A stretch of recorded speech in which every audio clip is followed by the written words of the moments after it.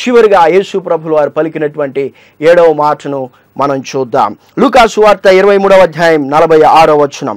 అప్పుడు యేసు గొప్ప శబ్దముతో కేకవేసి తండ్రి నీ చేతికి నా ఆత్మను అప్పగించుకొనుచున్నాను అనేను.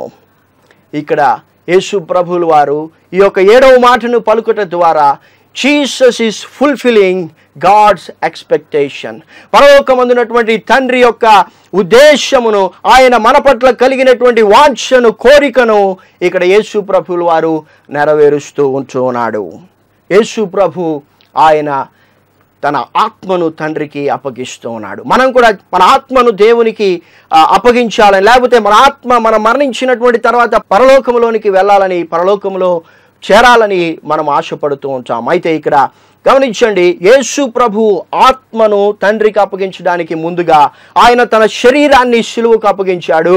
ఆయన ప్రాణాన్ని ఇష్టపూర్వకంగా పెట్టాడు. అయితే మన జీవితాల్లో చాలాసార్లు మన శరీరాన్ని మనం దేవునికి అప్పగించాం. చేయాల్సినటువంటి పాపాలన్నీ మనం చేస్తూ ఉంటాం. శరీరాన్ని ఈ లోక సంబంధమైనటువంటి దుర్నీతి విషయాలకు మనము అప్పగించేస్తాము.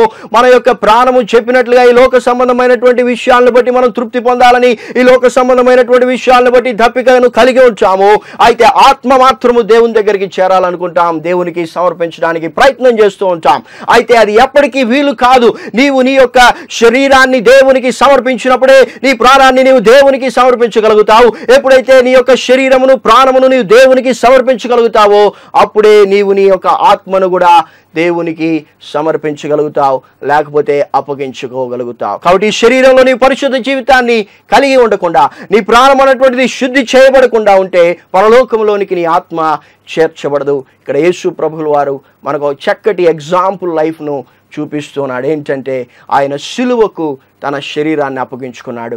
యోహాను సువార్తలో పదో అధ్యాయం పద్దెనిమిదో వచనంలో అంటున్నాడు నేను ఇష్టపూర్వకముగా నేను నా ప్రాణాన్ని పెడుతూ ఉన్నాను. Willingly I'm laying my life అని యేసు ప్రభులు వారు చెప్పాడు. ఆయన ప్రాణాన్ని దేవునికి సమర్పించాడు. చివరిగా ఆయన ఆత్మను కూడా దేవునికి సమర్పించాడు. కాబట్టి ఈ యొక్క యేసు ప్రభు సిలువు పైన పలికినటువంటి ఏడు అమూల్యమైనటువంటి మాటల్లో మనం నేర్చుకున్నటువంటి సత్యాలన్నీ మన జీవితంలో పాటించగలిగితే తప్పకుండా మన జీవితం దీవించబడినటువంటి జీవితముగా మనం ఇతరులకు చూపించగలుగుతాం. అటు కృపను దేవుడు మనందరికీ దయచేయనుగాక.